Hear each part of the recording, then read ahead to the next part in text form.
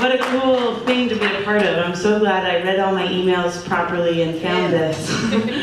um, I'm going to do a song for you by Aunt Molly Jackson. You heard a little bit about her already. She's a pretty badass woman, someone to look up to. And uh, I just want to put this out there to all those in the US, all those in Canada, really all over the world that are fighting for their lives every day, that go out in the morning and are afraid that maybe their partner won't come home that they won't come home. It's a very real thing right now. It's been going on for a long time and um, it's important to talk about it. So please join me. The lyrics on the chorus are really easy. I would love for you to join me. And you know what, actually, I think I might ask everyone to stand. This is a Forbidden Folk Conference, and let's, let's make this a march. Okay? Yes, thank you. All right, here we go. I am a union woman.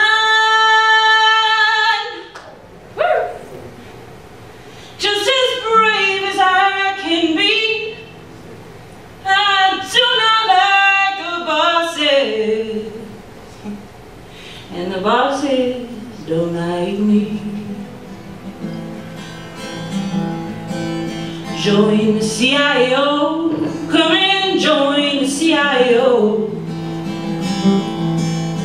We are many thousand strong and I am glad to say we are getting stronger and stronger every day. Here's our part.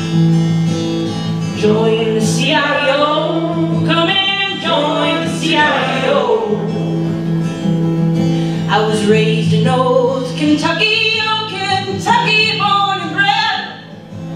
And when I joined the union, now